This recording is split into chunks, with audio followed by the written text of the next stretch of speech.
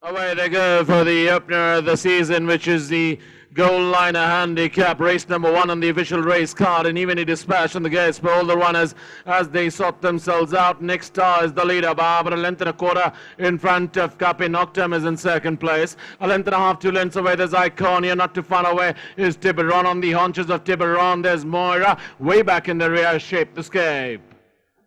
They approach the 600 meter marker. Next star in a start to finish essay. Barbara length and a quarter in front of Cape Noctem is in second place. Identical distance away there is Iconia. Another two lengths away there is Moira. A length and a quarter away. Moira traveling three horses wide is uh, Tiburon. Way back in the rear. Shape the scape as the turn film. Round the turn into the straight. Next star comes around first. Barbara length and a quarter in front of uh, Cape Noctem is in chase. Iconia is traveling very wide on the outside. But its next star still about a length and a half in front of uh, Cape Noctem. Then comes Iconia and Tiburon. But next time a length and a half, two lengths in front of Cape Noctem. It's all over in the opener of the day with uh, next star winning this one impressively from Cape Noctem. Then came Tiburon. Then came uh, Iconia. Second last there was Moira. And just passing the winning post is uh, Shape the Scape.